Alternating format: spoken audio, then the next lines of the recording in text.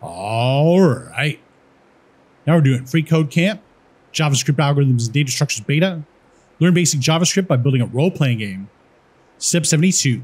All right.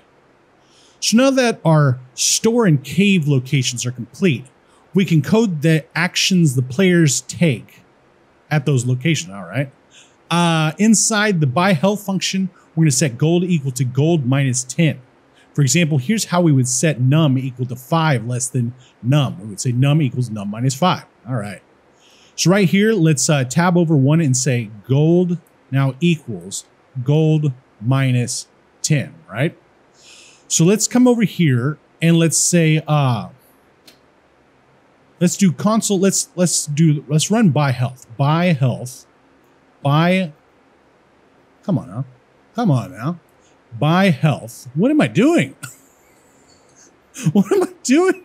Anyway, let's run this thing. Come on now. Whatever. And then let's do a console.log. Uh, let's do let's do the console.log inside here. Console.log gold. Console.log gold. Right? So we we're running the thing here. And when we put it in the console, we see it says 40. So when we start off, we have 50, like we can see right here, and now it's 40. So it looks like it works. All right. So let's check the code. Looks good.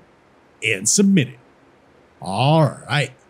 Now we're on to step 73, and we'll see you next time.